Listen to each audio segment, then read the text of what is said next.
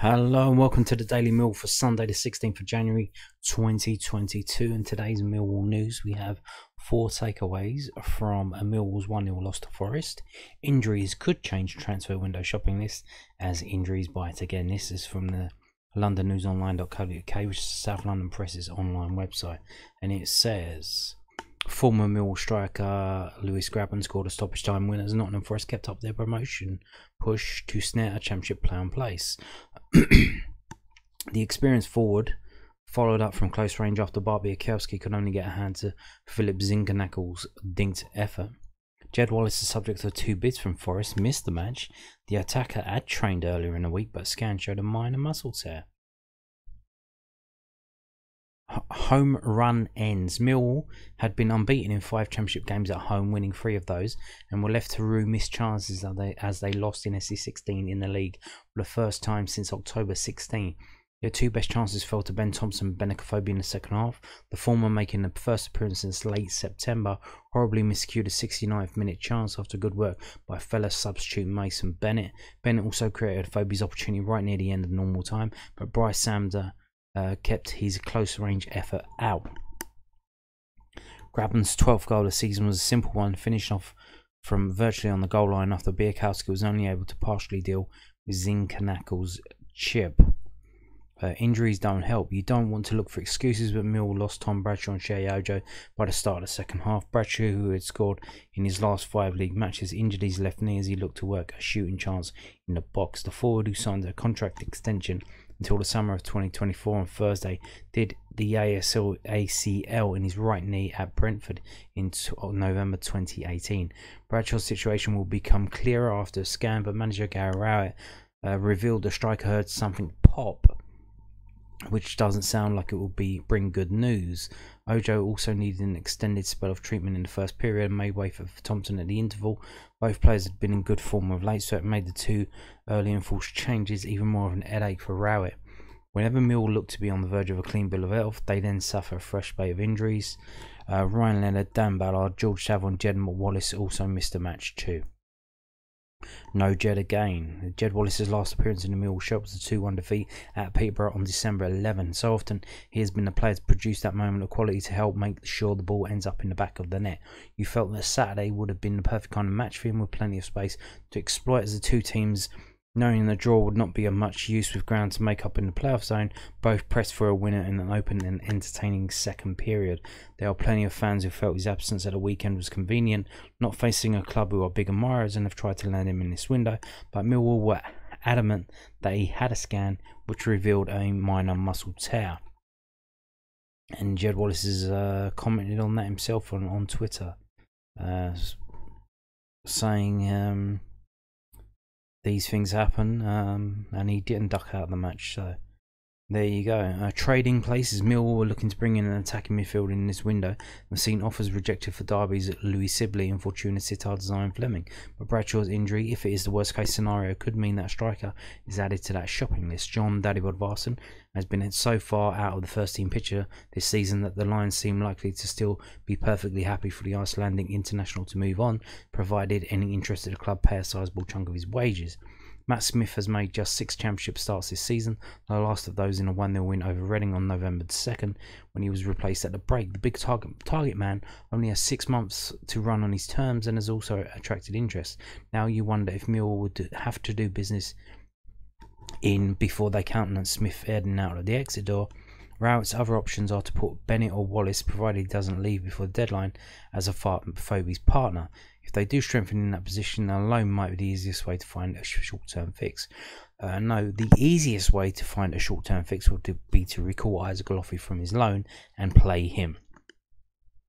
He literally plays the same kind of way as Tom Bradshaw plays.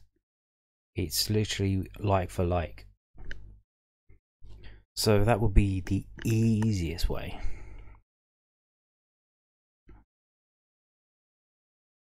Um, so there you go those are the four takeaways. Um, piece that South London Press does every week. Now we move on to this. Now this is from the the website Voetbal International, which is www.vi.nl. It's a Dutch website, which has been translated by Microsoft Edge so that we can read it. And it's about Zian Flemming. He spoke after the game. Um, they played somebody, I don't know who they played. Uh, Flemming wants English adventure, but my opinion doesn't really matter. Zian Flemming, oh, they played AZ Alkmaar and they lost 2 1. Uh, Zian Flemming is happy to make the switch to Mill FC, but Fortuna Sittard is holding back a transfer of the 23 year old attacking midfielder. The first bid from London was turned down. It seemed that Flemming has to put another English adventure out of his mind. Uh, Mill ha- uh, has reported to Fortuna, Flemming told ESPN. Uh, what have they offered? Let me leave myself out of here. Uh, the championship is a nice step for me. That that was it last summer with Nottingham Forest. Then I on, honestly indicated that I wanted to go there. Mill is also a nice option, but you know how it went last summer. My opinion doesn't really matter. So it seems he's a bit upset as well. He wants to leave, but they won't let him leave. Um, just as Forest previously could not meet Fortuna's requirements, Mill now also knows the Amsterdamer cannot be easily picked up. Flemming still has a contract until mid 2024 without a limited transfer fee. Uh, he's staying here we are all going to lie down for it, said Captain Ben Rienstra after the game against AZ Alkmaar. Uh, we don't have a wide selection yet. Up front, we have guys who score goals and can make it difficult for everyone, including Flemming. And the coach, Sjors Ultee, joked before the game about the importance of Flemming. He definitely doesn't want to lose his player. Uh, we tied him up. He can't leave the stadium. Tonight he sleeps here, Ultee said with a wink. If there is a lot of money, then I also know how it works. As a trainer, you look at the short term, we desperately need Zian. As far as I'm concerned, he stays here, no matter what is offered. But it's not that simple in football. And you can see where they are now. They're um, 17th in the table. I think there's 20 teams in the league. Well, there might just be 18. Yeah, I think there might be 18. So, yeah, not looking too good for them. They are set to go down. And that is the end of that story. So there you go. So they're not backwards in coming forwards uh, in the Dutch leagues. They they speak what's on their mind, and he's saying he wanted to leave last last season. He wanted to go to Nottingham Forest. Well, he wanted to go to England Championship, and then he's saying, "Oh, I want to still want to." Well, another championship's coming to me teams coming for me. I wouldn't mind leaving as well. Millwall alright. They're in the championship. Uh, but uh, it doesn't matter what I think because the club ain't willing to sell me. So what can I do? And even his captain, captain of the team said, "Well, he's he's he's staying here. He ain't going nowhere." So they're all very open about what they're saying there. Um, But yeah, it seems he does want to leave. Which is good for us, but so anyway, we're going to move on now. We're going to move on to the stats. So if you're not interested in that, thank you for watching. Peace out. And for those of you still here, we carry on. So this is the from experimental361.com. It's the XG of the game over the length of the 90 minutes, and you can see here we kept them really quiet in the first half. They didn't have a shot until the 20th minute. And then they didn't have another one until uh, the 40th minute. And they had a little flurry at the end. Uh, the end of the first half was actually our quietest period from about the 22nd minute, which will probably be after Bradshaw went off. So since after Bradshaw went off, we didn't have a shot again in the rest of that first half because the blue line is flat. And you can see here as well, if you go into the second half and you look to the 75 line, the 75th minute line, Nottingham Forest suddenly start going up and up and up and up and up.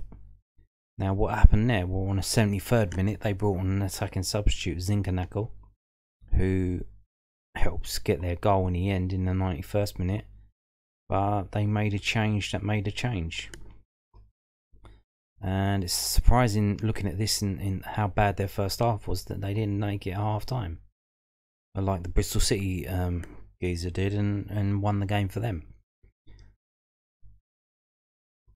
But you can see at the end, we went for it. We were going for it as well. We didn't lie down. We didn't try and defend for that nil-nil draw, uh, which probably cost us in the end because Malone throwing the ball to to Phoebe, him getting caught on it because we were attacking as well. We were going for it, and what is that's what you want. That that is what you want. But we had chances to win that game and we didn't win them.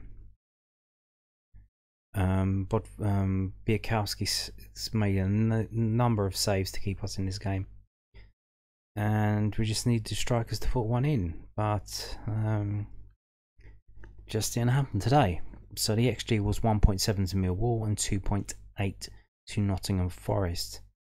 Um, Grabban had an XG on his own of 1.1, which is basically he should have scored one goal and he did. And he always scores against us since he's left us. Um, yeah, he does. So moving on now to infogol.net. And they give the XG as 1.46 to 3.77. A lot different there. You can see here the substitutions that were made. So yeah, the 73rd minute is they make one change and then they start kicking on. And we will look at the shot map from this website this is what I like from this website. And there you can see our shots from the whole 90 minutes of the game someone over here is taking a shot Scott Malone injury time okay our two best chances that was a Afobe point blank range he hit the goalkeeper and then Murray Wallace on the 55th minute that one was that a Ben Thompson one. That's Scott Malone, 11 minute. Um, so there you go. But let's have a look at the first half. So not trying to get things going on this left hand side here. First half. Phoebe, Malone, Murray Wallace, Ojo. It's quite busy. Going down that left hand side. Um, let's have a look at Forest. What were they doing? So they're First half, not a lot going on for them. They did have two decent chances, Yates on 43 and Grabban at the end of the first half. But when we switch to the second half, you can see we have our two best chances in the second half. But apart from that, not much going on. But look at that. Look at that for Forest. The goal that they scored is literally right, right on the line. They had two other chances Yates and Yates and Yates, and then Zinckernagel right at the end. And then they had a whole host of other not so good quality chances, but they had, you can see. And then when we look down at the fairness rating, was that a fair result? 96.08. Uh, yeah, well, when you look at the chances, us versus them, which team deserved to win that game. Team that created the better chances and more chances. So there you go, and it happened. We were we were a whisker away from getting out of that with a nil-nil draw, and that would have been a good result. But it was not to be. So let's move on to WhoScored.com, and here you see the match report. Millwall were effective at creating goal scoring opportunities through individual skill. We're effective at creating goal scoring opportunities from the flanks, but we're poor at finishing. We're caught offside often. And here you go, Nottingham Forest. I'm going to point to there. Attack through the middle, had a high shot frequency when in possession, and favoured free balls. And if you look on the right hand side, you see top five rated players what are all Nottingham Forest players that speaks volumes there, doesn't it? Now here's the attempts uh, 13 to 24. Nearly double the amount of shots that we had. They had 10 to 18 open play, 3 to 6 set pieces. And they only scored once, and that's down to Bart and Danny McNamara keeping us in it, and that, that gives them a conversion rate of 4. And we go through um, the attack sides, shot directions, so we were, for, for some reason, going down our left side. Maybe that was a plan. Um, they saw something in previous games that Nottingham Forest played. They were trying to do something now. I don't know. um, shot zones, action zones, and player positions. And here, if you look at the Nottingham Forest, so we were playing basically, it looks like 3 4 2 1. I want to show you here is Nottingham Forest packing that middle of the park again. Trying to take advantage of the gap between the midfielders in the middle and the players are playing more attacking. Trying to pack that midfield. And again, we keep getting done by that other teams coming to us and packing that midfield and overrunning us. And that's where we're losing the game. So defenders can only do so much. We've got to try and win the game in the middle of the park. Um, but there you go. So let's have a look at some of the player ratings. So here's the match events. Not a lot going on there. Only made one change, and it changed the whole game. Um, we made two changes that were enforced. And what I wanted to highlight before we get into the situation here is who was on the bench. So Ben Thompson on the bench, Mason Bennett, Kieftenbeld, uh, Matt Smith, Long, Mahoney, Burey. Uh, there's no defender on the bench. There is literally no defender on the bench. Yes, so what happened there? Where's Alex Pearce? Is he injured? Uh, was he one of the ones who had the COVID test and then he didn't train and then Gary Rowett didn't put him on the bench because he didn't train? Hayden Muller's come back from St Johnstone. Has that gone through yet? The paperwork gone through? I think they. I'm not sure if they have to transfer his registration from Scotland back to England. But why was he not on the? I know he's not been playing, so he's probably not match fit. But come on, how can you be a championship team and go into a game with seven substitutes? Is it seven?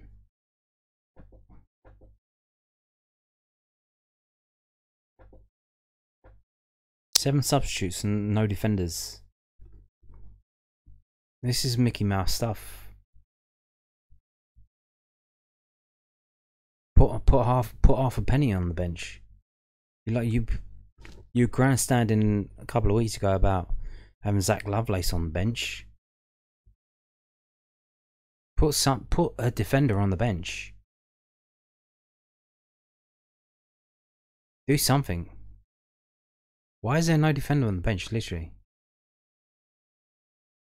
That literally makes no sense. But then you have Mahoney and Burey, who basically play similar roles. Why are both of them on the bench?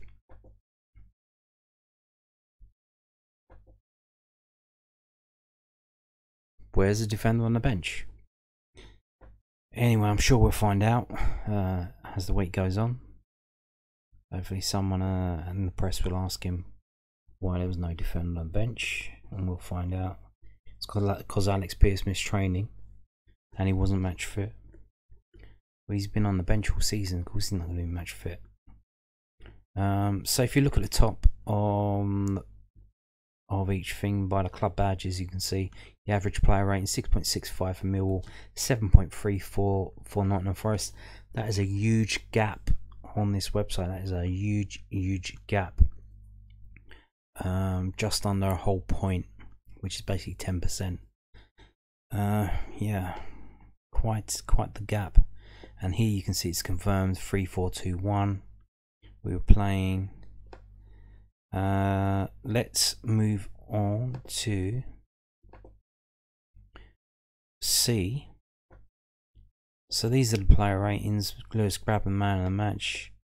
Uh, just beating Cook Steve Cook uh, their defender. For us it was it's between Bialkowski and Cooper Jake Cooper bit harsh for Danny McNamara. Uh, watch, watching uh, watching the game back, he was playing quite well. Uh, he come over for some reason past. I think it was Hutchinson. He was further forward on the front post, defending that there. Uh, I don't know if that's something. That's obviously something they worked on for him to be over there, but seemed to work. He was in the right place at the right time. Um, so let's move on now to shots. So we've seen 13 to 24. Um, literally, yeah, the whole everyone in the Forest had a shot basically, except for Colback, Worrall, and the, and the keeper. They they were all over it, shooting on sight. Uh huh. And for us, it was a Afobe, Malone, Murray Wallace. Definitely trying to come down this left hand side. Possession wise, actually, not that much difference, which is un which is weird because it's normally we normally don't worry about getting possession. Uh, we let them have the ball and we just attack them and get it over with, and then they usually come back at us from the back, and that means the opposition have more more possession than us. But it's basically 50-50 here. Um, and for us, it was Billy Mitchell on the ball, George Evans, and Cooper and Hutchinson. So, moving on to passing.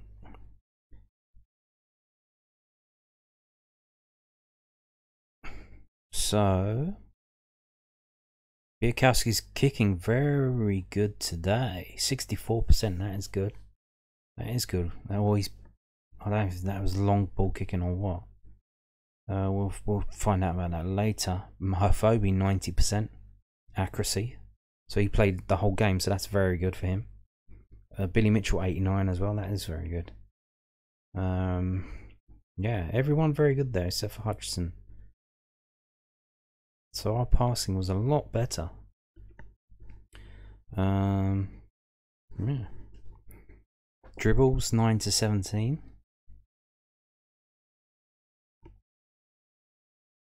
Okay. Aerials 1 16 to 20. Mm-hmm. Okay. Tackles 15 to 20. So got out tackle at home. Grabban with 2. Hey. Billy Mitchell with 3 for us. Murray Wallace with 3. Hutchinson with no tackles. Corners 7 to 7. Malone taking them all. Um. Okay. I thought Ojo, when Ojo took took the corners um, the other game, I thought he did all right. Um, obviously he went off at half time.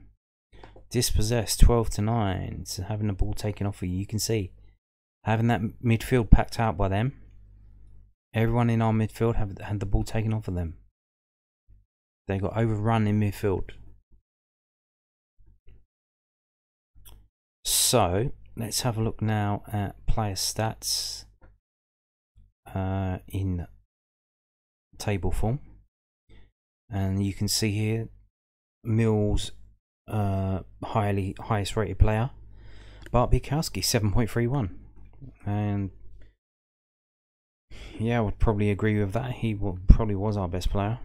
Um, kept us in the game. Probably could have been three or four to them which which should have been probably three two or three three, but we missed a couple of point blank uh, chances that were hit straight at the keeper, and we'll demonstrate that by let's have a look at touches first. Who had the most touches?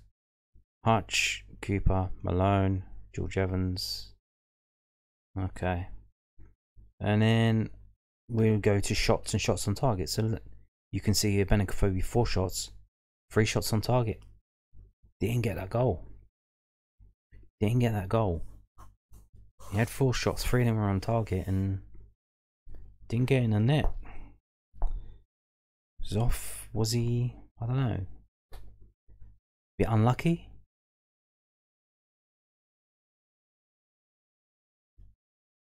But we had six these six players having shots. And how many on, on target? Three of them. So only six shots on target. Zero goals. Let's let's see Forest. So they had nine players having shots. Nine different players. And they had five different players having shots on target. They had three, four, five, six, seven shots on target and got one goal. So that tells you why Bart Bialkowski was our man of the match.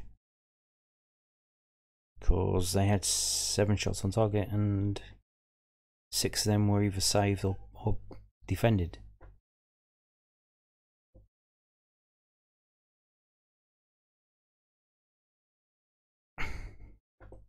Let's move on to defense. It's most tackles, interceptions. George Evans, okay. That's interesting. And eight players with interceptions. So, okay. That is interesting. Clearances. Jake Cooper with five. So you can see why he got high rating there. He's the second highest after Bart. Two two tackles, two interceptions, five clearances, three block shots. Pretty decent. Um, I don't know why Danny McNamara's was so low. Uh, uh, I don't know. Ratings wise, let's have a look. So Mason Bennett there being fourth. And he came on 27th minute, so he had 60 odd minutes on the pitch. So you expect he's going to get a, decent, a higher score than Bradshaw, and he did. And Ben Thompson, lowest rated player, 6.1, having 45 minutes. And Ojo having the first 45 of those minutes, uh, 6.47.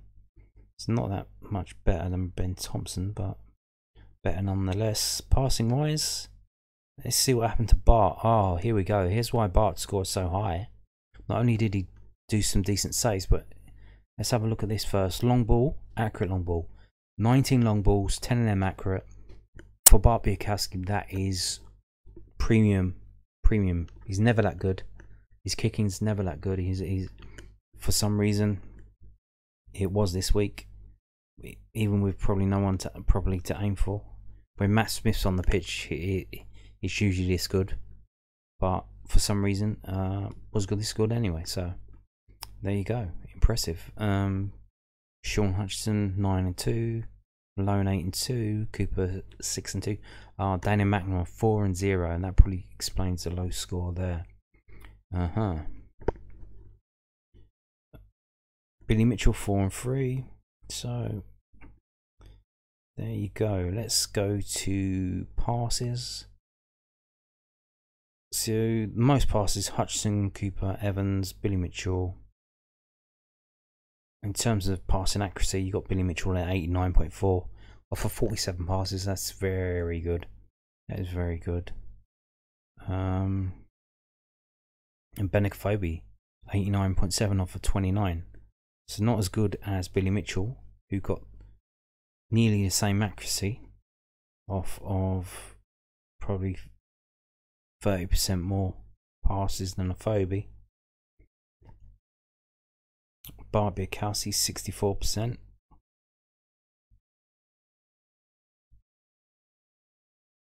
Okay. Crosses and accurate crosses. Was there anyone to cross to? So Scott Malone with the corners there. That's bumped up his crosses. He's had 10. Everyone else is 2, 2, 2, 2, 2. And one, and one of them was accurate. Um, yeah. Can someone else take a corner? Um, Danny McNamara? Someone? Anyone? Don't know. Mason Bennett? Um, Hutchinson? Someone? Can anyone take a corner? Because Malone clearly can't. Anyway, so there you go. On that note, think we're gonna leave it there. Um, pretty shitty result. We tried to win it, so you can't really argue with that. We did try to win it, and it would be hypocritical to say, "Oh, we should have played for the draw," but it, a draw would have been a good result in terms of first clean sheet for a long while. We only have five clean sheets so far this season, but we needed to win that game. We tried to win that game. We had the chances to win that game. We were defending and goalkeeping very well enough to win that game. and we didn't just win. We didn't win the game, and we didn't draw the game. We lost the game. So there you go. We go again. Blackpool on Saturday. Blackpool away. Let's see how we do. Surely that's a must-win game. Can't be losing to them. Thank you for watching.